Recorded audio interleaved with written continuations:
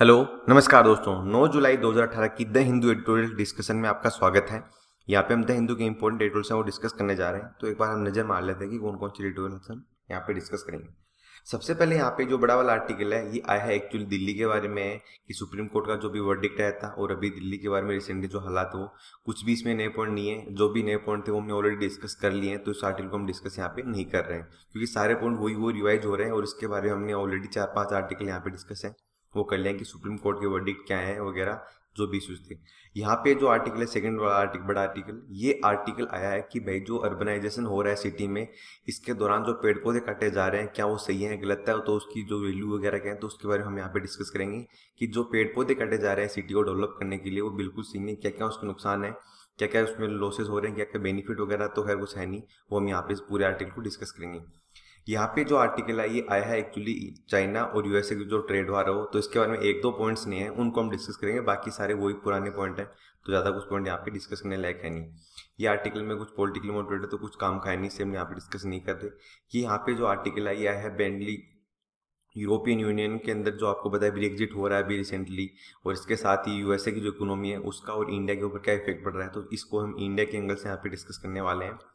यहाँ पे जो आर्टिकल है, आपको पता है मंडे को आता है, उसमें उसमें कुछ हमारे लिए पॉइंट है नहीं। यहाँ पे ये जो आर्टिकल है, यह है कि जो डिसेबल्ड पर्सन है, जो दिव्यांग लोग हैं, उनको गवर्नमेंट के तहत जो भी प्रावधान किए गए हैं, वो प्रॉपर रिजर्वेशन नहीं मिल रहा है तो कमियाँ वगैरह हैं तो उसके बारे में यहाँ पे आर्टिकल को डिस्कस करेंगे। ये आर्टिकल कुछ काम का नहीं है। चलते हैं हमारी डिस्कशन की तरफ़। सबसे पहले जो एडिटोरियल है, वो हम देखेंगे ट्रेड वॉर के बारे में। तो देखो ट्रेड वॉर की बात कुछ ऐसी है। आपको पता है कि यूएसए ने टेरिफ बेरियर लगाए थे। उसके फलस्वरूप चाइना ने क्या किया? चाइना ने भी बेरियर लगाना शुरू कर दिया। तो मतलब क्या हुआ? एक साइड से इधर से टैक्स लगाया चाहे यूएस ने, फिर इधर चाइना ने लगा दिया फिर यूएस ने वापस दो बार टैक्स लगा दिया डबल टैक्स मतलब तो फिर चाइना ने भी टैक्स बढ़ाना शुरू कर दिया। तो हालात ये हो गई इधर टैक्स लगा रहे हैं तो इधर टैक्स टैक्स पे टैक्स लगता जा रहा है दोनों साइड से। इससे नुकसान ही हो रहा है कि जो ग्लोबलाइजेशन का जो फंडा था ना, कि भाई सभी कंट्रीज़ हैं वो ग्लोबलाइजेशन के थ्रू आपस में ट्रेड करें और मतलब एक दूसरे की इकोनॉमी और ट्रेड के लिए ओपन रहेगी। वो अब यहाँ पे ऐसा कुछ दिख नहीं रहा है। देखो, जब से ट्रंप इलेक्ट हो गए हैं, तब से उनकी एक पॉलिसी रही है, अमेरिका फ़र्स्ट की पॉलिसी रही है। और इसी पॉलिसी के तहत वो ये सब कर रहे हैं पॉपुलिज्म लोकल भावनवाद, लोगों को अट्रैक्ट करने के लिए, दोबारा इलेक्शन में अपने आप वैल्यू बनाने के लिए, ये जो हथकंडे अपना रहे हैं तो राइटर का कहना है कि इनके द्वारा उनको कोई भी फ़ायदा नहीं होने वाला है। हो सकता है उनको शॉर्ट टर्म बेनिफिट मिल जाए बट लॉन्ग टर्म देखा जाए तो यूएसए की इकोनॉमी को नुकसान होगा। इसी के साथ ही यूएसए की जो इमोज है इमेज है सॉरी उसको भी काफ़ी बड़ा दब्बा यहाँ पे लगने वाला है। देखो, आपको एक बताऊँ कि यूएसए की जो इकोनॉमी है ना, वो एक्सपोर्ट ओरिएंटेड कंट्री है यूएसए क्योंकि यूएसए है, वो मैक्सिमली उसकी इकोनॉमी है, वो एक्सपोर्ट ही करती है। यूएसए के काफ़ी सारे प्रोडक्ट आप देख सकते हो गूगल हुआ फेसबुक हुआ यूट्यूब जैसी सारी जो कंपनीज़ हैं एक्चुअली यूएसए की ही है माइक्रोसॉफ्ट वगैरह। तो यहाँ से एक चीज़ सामने आ रही है कि यार इतनी बड़ी कंपनी है तो ओबियसली काफ़ी ज़्यादा वहाँ पे रिवेन्यू मिल रहा है उनको। तो इसलिए एक्सपोर्ट जैसे ओरिएंटेड कंट्री है तो वहाँ पे उनको काफ़ी बेनिफिट होते हैं। अगर बाकी कंट्रीज़ ने ऐसे ही बैन लगाना शुरू कर दिया, जैसे यूएसए ने चीज़ों पर बैन लगाना या बोल सकते हो टेरिफ बेरियर लगाए उसी तरीके से और भी कंट्री ने प्रोग्राम स्टार्ट कर दिया तो उसका काफ़ी बड़ा नुकसान यूएसए को भुगतना पड़ेगा। और सबसे बड़ी बात यहाँ पे बताई जा रही है, वो बताइए जा रही है कि देखो भैया, जो ग्लोबलाइजेशन है, उसका इफ़ेक्ट बहुत बड़ा नेगेटिव इफ़ेक्ट यहाँ पे देखने को मिल रहा है। 1990 का जो दशक था उस दशक में तो आपको पता है कि यूएसए जैसी और यूरोपियन यूनियन जैसी जो इकोनॉमी थी, वो सब ये कहती थी कि नहीं ग्लोबलाइजेशन को प्रमोट करो, ये है, वो है। उस टाइम पर तो चाहते थे कि एक दूसरे की इकोनॉमी के अंदर ट्रेड हो सके। बट आज उनको पता चला कि यार चाइना और इंडिया की इकोनॉमी बढ़ने लग गई और उनका बेनिफिट ज़्यादा होने लग गया तो उन्होंने इस तरीके से अमेरिका फ़र्स्ट जैसी पॉलिसी है, वो लेके आनी शुरू कर दिया मतलब कहीं ना कहीं वो अपने फायदों के लिए तो उस टाइम पर पॉलिसी लेके आ गए थे और आज के टाइम पर जो पॉलिसी उनके लिए रिलेवेंट नहीं है तो वो अपनी मनमर्जी यहाँ पे करते हुए दिख रहे हैं। इसके बाद में राइटर बता रहे हैं कि देखो यूएसए ने तो किसी को भी नहीं छोड़ा। यूएसए यहाँ पे किसी का सगा नहीं है। उसने इंडिया के चाइना के ऊपर तो लगाया लगाया। इसके इंडिया के प्रोडक्ट को भी लगाया। और अहम बात क्या है, जो कि यूरोपियन यूनियन हुआ जापान हुआ, जो उसके काफ़ी क्लोज मेंबर है, दोस्त हैं, एक तरीके से सगे हैं, उनको भी यहाँ पे नहीं बक्सा। उनके ऊपर भी बैरियर लगा दिया। तो मतलब क्या हुआ यूएसए है वो सिर्फ़ और सिर्फ़ अपनी मनमर्जी यहाँ पे करते हुए दिख रहे हैं। इसको राइटर एक तरीके से कह रहे हैं कि देखो भाई कोल्ड वार था जो कि रसिया के टाइम रसिया के लिए स्टार्ट होता मेनली 1960 के 50 के, दशक के दौरान, वही सीन आज वहाँ पे वापस स्टार्ट हो गया। तो एक तरीके से हम कह सकते हैं कि भाई जो अभी ट्रेड वॉर चल रहा है, वो कहीं ना कहीं कोल्ड वार का एक सेकेंड फ़ेज़ है, वो दिखता हुआ सामने हमें प्रतीत हो रहा है।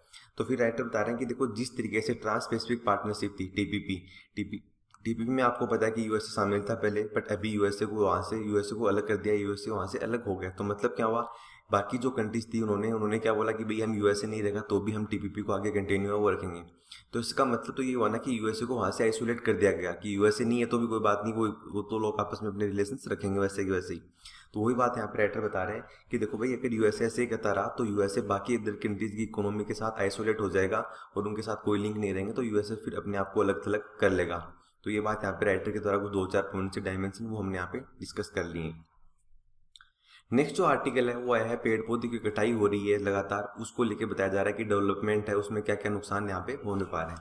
देखो अभी रिसेंटली यहाँ पे दो केसेस लिए गए हैं। पहला केसेस लिया गया दिल्ली का, दूसरा लिया गया यहाँ पे मुंबई का। दिल्ली के अंदर आपको पता है काफ़ी सारे डेवलपमेंट के नाम पे पेड़ पौधे काटने के लिए भी अनुमति थी तो उसको बाद में यहाँ पे काफ़ी स्टे वगैरह आ गया। वही बात यहाँ पे मुंबई की बताई जा रही है कि मुंबई में रेल कॉरिडोर बिछाने के लिए लगभग 2000 पेड़ पौधों काटने की बात थी तो उसको लेके भी, भी बवाल हो गया देखो राइटर का सीधी सीधी एक बात ये कहनी है कि हाँ बिल्कुल सही बात है कि सिटी की डेवलपमेंट हमें ज़रूरी है। देखो डेवलपमेंट भी अपनी जगह ज़रूरत है बट कहीं ऐसा नहीं हो कि डेवलपमेंट की आड़ में हम लोगों के जीने लायक माहौल ही नहीं छोड़ें क्योंकि जिस तरीके से जो पेड़ पौधे काटे जा रहे हैं वो काफ़ी ज़्यादा नुकसान पहुँचा सकते हैं।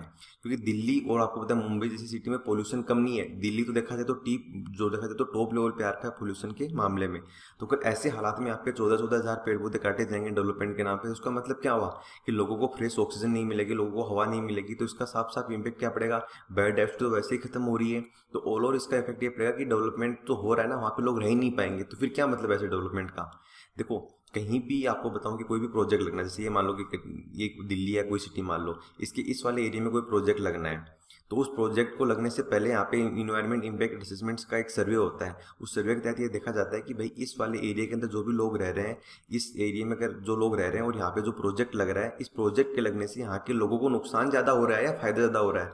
अगर बेनिफिट बहुत ज़्यादा होते हैं ऑल ओवर देखा जाए तो तो उस प्रोजेक्ट को लगाया जाता है। अगर वहाँ पे बेनिफिट कम और नुकसान ज़्यादा हो रहा है तो उस कंट्री में प्रोजेक्ट नहीं लगता है। बट आपको पता है कि गवर्नमेंट ही सर्वे वगैरह करवाती है तो इसलिए कई बार क्या करती है, वो साठ घाट से मैनेज कर लेती है। वही केस देखने को मिला दिल्ली में। तो राइटर ये बता रहे हैं कि देखो फॉरेस्ट की जगह डेवलपमेंट करना बिल्कुल सही नहीं है। हम और भी तो दूसरे विकल्प ले सकते हैं ना। फॉरेस्ट को एक जगह से दूसरी जगह शिफ्ट करना काफ़ी मुश्किल और नामुमकिन हो जाता है। क्योंकि देखो, हर एरिया की बायोडाइवर्सिटी अपने आप में एक अलग होती है। वहाँ का इकोसिस्टम अलग होता है, वहाँ का इन्वायरमेंट अलग होता है। तो उसके अकॉर्डिंग ही वहाँ पे पेड़ पौधे होते हैं। अब ऐसा थोड़ी कि दिल्ली में आप पेड़ पौधे काट के आप वहाँ पे जम्मू एंड कश्मीर में लगा दोगे। भाई पेड़ पौधे तो दिल्ली में ज़रूरत है ना। जम्मू एंड कश्मीर में थोड़ी ज़रूरत है फ़िलहाल। जहाँ पे ज़रूरत है, वहीं पर तो चीज़ें होनी चाहिए ना। अच्छी बात है कि आप जम्मू एंड कश्मीर में पेड़ पौधे लगाओ, कोई बात नहीं है। बट ऐसा थोड़ी कि आप दिल्ली के पेड़ पौधे सारे काट दो। जहाँ पे ज़रूरत है, वहाँ पे तो चीज़ें होनी चाहिए ना। ऐसा थोड़ी कि आप एक जगह से पेड़ पौधों को शिफ्ट कर दोगे, वो तो चीज़ पॉसिबल नहीं है। फिर दूसरी बात ये कि वहाँ पे जो पेड़ पौधे के साथ साथ जो छोटे मोटे जीव जंतु भी रहते हैं, उनकी बायोडाइवर्सिटी का तो नुकसान होता है ना। तो वही बात यहाँ पे डायरेक्टर कह रहे हैं कि देखो जो नेचुरल इन्वायरमेंट है ना, उसका लॉस बहुत ज़्यादा हो रहा है। पॉपुलेशन जो पोल्यूशन है वो लगातार ऑलरेडी बढ़ता जा रहा है दिल्ली जैसी सिटी में और ऐसे हालात में पेड़ पौधों की कटाई जारी रही दिल्ली और मुंबई में तो एक दिन समय ऐसा आ जाएगा कि वहाँ पे जीना ही दुर्भर रहे और रहना दुर्भर दोनों ही हो जाएँगे। इसके बाद मेरे राइटर ये बता रहे हैं कि देखो जो यहाँ पे पेड़ पौधे काटे जा रहे हैं तो उसका मतलब क्या होगा? कार्बन डाइऑक्साइड का लेवल बढ़ जाएगा तो इससे ग्रीन हाउस गैस इफ़ेक्ट बढ़ जाएगा। तो आपको पता है, पहले से ज़्यादा गर्मी है, फिर और ज़्यादा गर्मी हो जाएगी। बारिश सही इनरेगुलर हो जाएगी। मुंबई में अभी फ्लड के हालात हो रखे हैं तो कभी तो बारिश ज़्यादा होगी, कभी कम होगी तो इसका नुकसान तो हमें ही झेलना पड़ेगा ना। इसके साथ ही बात कीजिए पोल्यूशन तो बढ़ना ही बढ़ना है। बायोडाइवर्सिटी का लॉस तो होना ही होना है, अगर पेड़ पौधे काटे जा रहे हैं तो। और इकोलॉजिकल बैलेंस तो रहेगा ही नहीं, क्योंकि बैलेंस बचेगा कहाँ से? जब पेड़ पौधे ही नहीं होंगे तो भाई बैलेंस कहाँ का रहेगा? तो इसलिए गवर्नमेंट को ऐसे स्टेप नहीं उठाने चाहिए। फिर यहाँ पे बात की जा रही है कैंपा की। कि जो जो फॉरेस्ट है फॉरेस्ट सॉरी कैंपा जो बिल लाया गया था, कैंपा जो एक्ट आया था एफोरेस्टेशन के लिए, इसका मेन प्रावधान ये था कि कैंपा बिल का जो पैसा है, वो 90 परसेंट जो पैसा है, वो तो जाएगा स्टेट गवर्नमेंट के पास, और 10 परसेंट जो पैसा जाएगा, वो जाएगा सेंट्रल गवर्नमेंट के पास। बट राइटर ये कह रहे हैं कि जो कैंपा फंड था, इसका भी ढंग से यूटिलाइजेशन नहीं हो रहा है। फंड के अंदर अभी तक देखा जाए तो लगभग सेंट्रल गवर्नमेंट के पास पचास हज़ार करोड़ रुपये जमा पड़े हैं, उनका अभी तक कोई ढंग से यूटिलाइजेशन यूज़ है, वो नहीं किया गया है। और राइटर कह रहे हैं कि जो पेड़ पौधे काटे जा रहे हैं, उनके बदले में जो कंपनसेशन दिया जाता है गवर्नमेंट को या इस फंड के अंदर, वो बहुत कम होता है। उसकी जो इको देखा जाए तो ऑल ओवर इकोनॉमिक और आप बोलो कि इकोलॉजिकल वैल्यू देखी जाए तो बहुत ज़्यादा होती है उस फॉरेस्ट की बट फिर भी गवर्नमेंट को नामात्र के पैसे दिए जाते हैं और इससे बायोडाइवर्सिटी के साथ साथ इकोलॉजिकल लॉस तो होता है होता है गवर्नमेंट को रिवेन्यू लॉस भी हो रहा है। इसके बाद में राइटर ये कह रहे हैं कि देखो कैंपा फंड का यूज़ नहीं हो रहा है तो इसका साफ़ साफ़ मतलब क्या है? इन्वायरमेंट का लॉस हो रहा है। तो आप खुद जानते हो कि अगर इन्वायरमेंट का लॉस हो रहा है तो उसका मतलब सिटी रहने लायक ही नहीं बचेगी। तो राइटर का लास्ट में पॉइंट फोर में यही कह रहे हैं कि देखो भैया डेवलपमेंट में कोई बात नहीं है। गवर्नमेंट चाहती है डेवलपमेंट करना, हम भी चाहते हैं डेवलपमेंट करना। बहुत अच्छी बात है कि डेवलपमेंट हो। बट डेवलपमेंट ऐसा तो यूँ नहीं होना चाहिए ना कि किसी की आप गर्दन काट गया किसी का घर आप बर्बाद करके फिर आप डेवलपमेंट करो। तो उससे क्या फ़ायदा हुआ?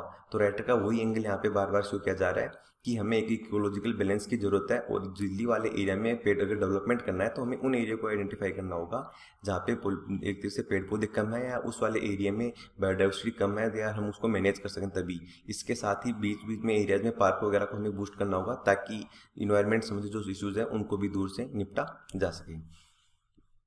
फिर यहाँ पे आता है अगला हमारा आर्टिकल वो आता है ब्रिटेन का एग्जिट जो आपको पता है एग्जिट हुआ था उसको लेके।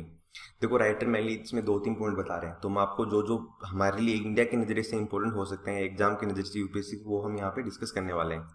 सबसे पहली बात है कि ब्री एग्जिट आपको पता है कि यूरोपियन यूनियन से ब्रिटेन है, वो एग्जिट हो रहा था। तो उसको कहा गया था प्री एग्जिट अब इससे सीधी सीधी तीन चीज़ें यहाँ पे बताई गई हैं कि देखो ब्रिटेन को इससे तीन मोटे मोटे नुकसान होने वाले हैं। कौन कौन से? पहला तो है यहाँ पे इन्वेस्टमेंट कि ब्रिटेन की इन्वेस्टमेंट वो रुक जाएगी, क्योंकि वहाँ पे इन्वेस्टमेंट करने वाली कंट्री को भी ये लग रहा है इन्वेस्टर्स को कि यार हम इन्वेस्ट तो करेंगे, पता नहीं कैसा क्या माहौल रहेगा, कैसा कौन सी कंट्री के साथ रिलेशन कैसा रखेगी तो क्या पता हम यहाँ पे इन्वेस्टमेंट करते फिर हमें लॉस वगैरह हो जाए। तो काफ़ी असंदिग्धता है, इसलिए इन्वेस्टमेंट वहाँ पे कम हो रहा है। फिर बात की जा रही है फंडिंग की। कि देखो, पहले ब्रिटेन है, वो यूरोपियन यूनियन का पार्ट था तो ऑब्वियसली यूरोपियन यूनियन की तरफ़ से फंडिंग मिलती थी।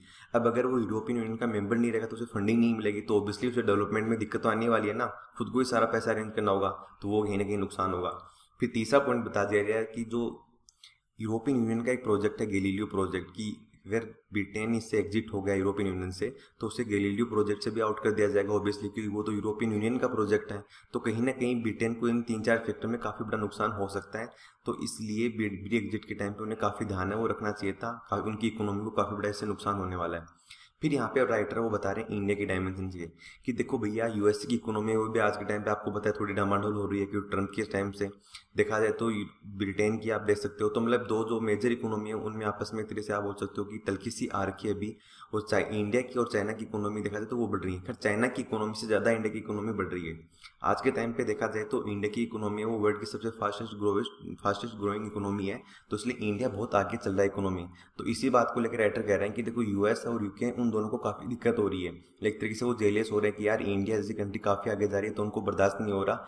और इसकी वजह से वो जैसे ट्रेड वार जैसे स्कीम वगैरह ट्रेड वार जैसे फंड है वो लेके आए हैं। बट इनसे राइटर का कहना कि कोई बेनिफिट उनको नहीं होने वाला है। क्योंकि इंडिया उनके कंपटीशन में आ गया ना इसलिए उनको काफ़ी सारी दिक्कत हो रही है और इसी का वो समाधान करना यहाँ पे जा रहे हैं। बट राइटर कह रहे हैं कि ऐसा होना कोई बेनिफिट उनको नहीं होने वाला है और, और उनको उल्टा नुकसान ही होने वाला है। तो ये साथ के लिए कुछ पॉइंट्स जो हमने यहाँ पे डिस्कस कर लिए। नेक्स्ट जो आर्टिकल है वो है डिसेबल्ड पर्सन के बारे में तो डिसेबिलिटीज़ के बारे में इस आर्टिकल में डिस्कस किया गया इस आर्टिकल में ये बताया गया है कि देखो, जो इंडिया में डिसेबल्ड लोग हैं ना, इनको जो रिजर्वेशन दिया गया है अकॉर्डिंग टू रूल वो रिजर्वेशन और जो रूल प्रॉपर ढंग से इंप्लीमेंट किया जा रहा है, कागजों में या बोल सकते हो कि रियल लाइफ में जो इंप्लीमेंट किया जा रहा है, उसमें काफ़ी डिफरेंस है। जैसे कि आपको बताऊँ अभी यहाँ पे इशू लिया गया है जे का। जे का इशू, जवाहरलाल नेहरू यूनिवर्सिटी का इशू लिया गया है कि वहाँ पे जो स्टूडेंट को रिजर्वेशन दिया जा, दिया जाता है डिसेबल्ड को, उतना रिजर्वेशन नहीं मिल रहा है उनको। बहाना क्या दिया जा रहा है? तर्क ये दिया जा रहा है कि भैया उतनी सीटें नहीं है। तो ऐसा थोड़ी कि डिसेबल्ड लोगों के लिए सीटें खत्म हो गई, बाकी के लिए सीटें हैं। तो भाई अगर सीटें नहीं है तो सभी लोगों की सीटें कम होनी चाहिए, ओबीसी, जनरल वालों की सभी तो। ऐसा थोड़ी कि डिसेबल्ड की आप सीटें कम कर रहे हो। फिर यहाँ पे इशू है टीचर्स का, कि टीचर्स में भी डिसेबल्ड टीचर्स हैं, उनको प्रॉपर ढंग से रिजर्वेशन यहाँ पे नहीं मिल रहा है। तो ये दो डायमेंशन यहाँ पे बताई गई जवाहरलाल नेहरू यूनिवर्सिटी की केस स्टडी फॉर्म में। फिर देखो आपको बताऊँ इंडिया ने क्या किया डिसेबल्ड के लिए? इंडिया ने डिसेबल्ड पर्सन के लिए एक्ट बनाया है। वो है right of person with disability act 2016 इस एक्ट के तहत ये प्रावधान किया गया कि भाई जो डिसेबल्ड लोग हैं, उनको अभी रिसेंटली है, वो रिजर्वेशन हुआ है चार परसेंट पहले था तीन परसेंट गवर्नमेंट जॉब के अंदर रिजर्वेशन दिया गया आपको जो डिसेबल्ड को, तीन परसेंट था पहले, अब चार परसेंट कर दिया गया। हायर एजुकेशन में जो रिजर्वेशन है, पहले था तीन परसेंट और अब कर दिया गया पाँच परसेंट। बट राइटर कह रहे हैं कि देखा जाए अगर ग्राउंड लेवल पे तो ऐसा इंप्लीमेंट नहीं किया गया। केवल कागजों में चार परसेंट और पाँच परसेंट है, बाकी अभी भी तीन परसेंट ही चल रहा है। तो राइटर का ये कहना है कि भैया इसका मतलब क्या हुआ? इसका साफ़ साफ़ मतलब तो ये होगा कि गवर्नमेंट कहीं ना कहीं अकाउंटेबल नहीं है ऑफिसर्स हैं, वो एक तरीके से अपना काम ढंग से नहीं कर रहे हैं। इसका सीधा सीधा देखो, एक मतलब ये भी है कि गवर्नमेंट जो भी रूल रेगुलेट है, उनको प्रॉपर ढंग से इंप्लीमेंट नहीं कर पा रही है। तो राइटर के द्वारा ये बताया जा रहा है कि देखो, दिव्यांग लोगों के लिए अगर ऐसा गवर्नमेंट करिए तो उनको एक तरीके से अपने आप को अलग थलग महसूस करेंगे और फिर वो कहीं ना कहीं सोसाइटी में कम्युनलिज्म को बढ़ावा दे सकते हैं। तो इसलिए गवर्नमेंट को जो अकाउंटेबिलिटी है, जो ऑफिसर्स है कि ऐसा क्यों नहीं हो रहा है इंप्लीमेंट नहीं हो पा रहा है, उसके ऊपर फोकस करना चाहिए। इसके साथ ही जो भी एक्ट वगैरह उनको इंप्लीमेंट करने के लिए पॉलिसी वगैरह को और स्ट्रिक करना चाहिए, ताकि जो भी इसके लिए अकाउंटेबल पर्सन हो, उसको उचित दंड दिया जा सके, अगर वो ढंग से काम वगैरह नहीं कर रहा हो। तो इस आर्टिकल में कुछ बेसिक पॉइंट थे जो हमने पे डिस्कस करी हैं। तो फ़िलहाल की डिस्कशन में इतना ही है। तो thank you very much for discussion हाँ जो पी डी एफ़ आप प्लीज़ वो आप फेसबुक पेज से डाउनलोड कर लेना। मैं नीचे आपको लिंक प्रोवाइड करवा देता हूँ कमेंट बॉक्स में। वहाँ आप सात तारीख की और आज की पीडीएफ और दोनों पीडीएफ आपको वहाँ मिल जाएँगे।